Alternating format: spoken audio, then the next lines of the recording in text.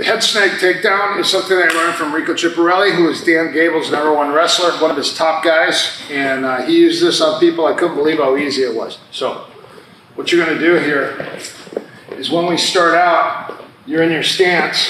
And what I'm going to do is I'm going to lightly tap his wrist and his shoulder like this.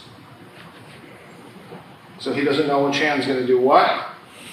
Then I immediately go here, and this one cuffs the back of his head. It cuffs, and I grab the chin.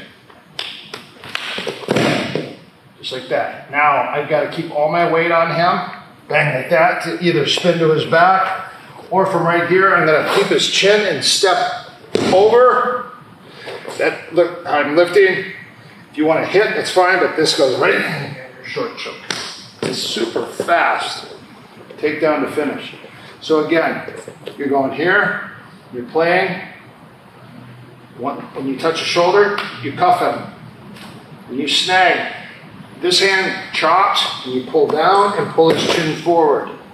When you step, that's going to set up the short choke. One more time. Play. Just like that. If you want to cover them, that's fine. That will allow you to step in and come to the side. At any time, we can start to tilt or crossface or whatever.